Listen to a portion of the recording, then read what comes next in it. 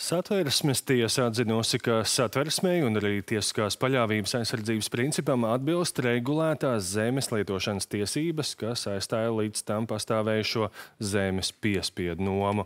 Taču vienlaikus tiesa lēmusi, ka apstrīdētajās normās noteiktā zemes lietošanas maksa neatbilst satversmei garantētajām tiesībām uz īpašumu un tiesiskās paļāvības aizsardzības principam.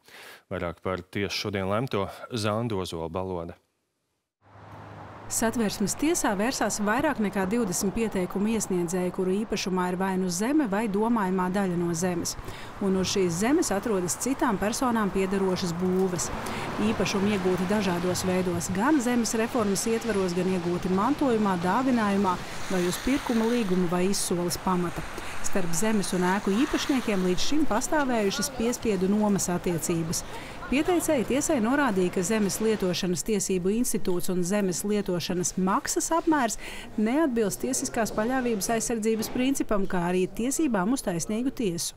Satversmes tiesa šodien pasludināja spriedumu Satversmes tiesa savukārt atzina, ka apstrīdētajās normās regulētās zemes lietošanas tiesības, kas aizstāja līdz šim pastāvējušo zemes piespiedu nomu, ir atzīstamas par satversmei atbilstošām. Taču to noteiktā zemes lietošanas maksa gan tai neatbilst.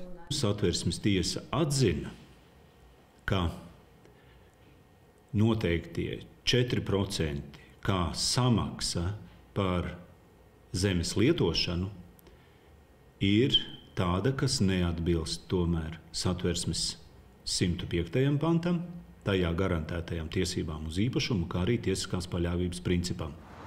Izdarot šādu secinājumu, tiesa ņēma vērā vairākas komponentes, tajā skaitā to, ka piemēram 30% no daudzdzīvokļu ēku iedzīvotājiem laikus nemaksā, bet piedzīšanas process nav vienkāršs, kā arī citus faktorus, kas neļauj iegūt atbilstīgus augļus par īpašuma izmantošanu.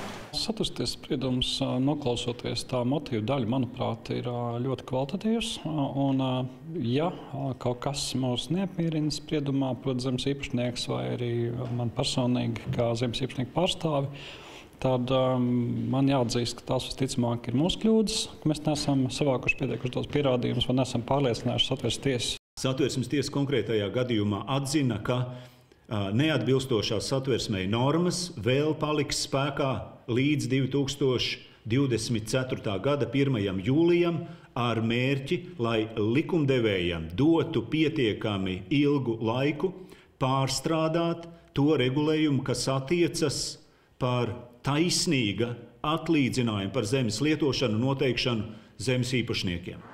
Likumdevējam dotais laiks ir ilgāks par gadu. Tieši saimai būs jāatrod pareizs līdzsvars starp divu personu grupu tiesiskajām interesēm. Zandozo Balodu Mārs Jurgensons un Aigars Kovaļevskis Latvijas televīzija.